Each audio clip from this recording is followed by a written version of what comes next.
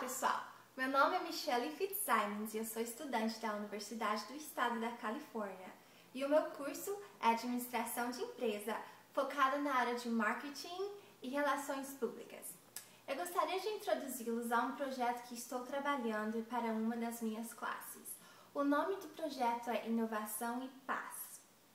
E o tópico selecionado para o meu grupo escolar é os problemas causados pelo uso de drogas e bebidas alcoólicas nos alojamentos especializados para os estudantes.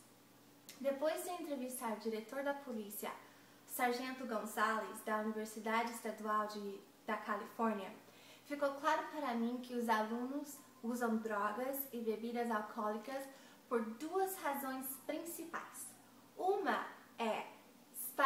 Livrarem do estresse e da pressão causada pelo intenso estudo.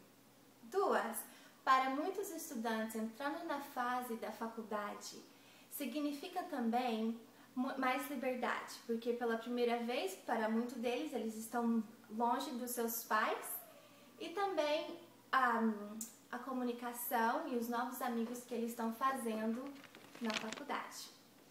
O objetivo desse projeto é selecionar diferentes ideias, diferentes ideias para solucionar esse problema. Estou contando com seu apoio, so please, por favor, envie as suas ideias. Muito obrigada!